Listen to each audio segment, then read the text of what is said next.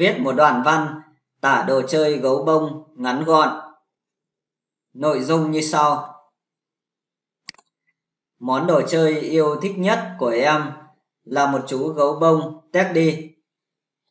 Đó là món quà sinh nhật mà chị gái đã mua cho em bằng tiền đi làm thêm của chị. Nên em quý trọng nó lắm. Chú gấu có kích thước rất lớn với chiều dài 160cm còn to hơn cả em cơ. Toàn thân chú được bao phủ bởi lớp lông ngắn, siêu mềm mại, màu nâu. Trên đầu của chú có đôi mắt đen bóng, làm từ hai viên ngọc to như trái vải và hai cái tai tròn xoe siêu đáng yêu.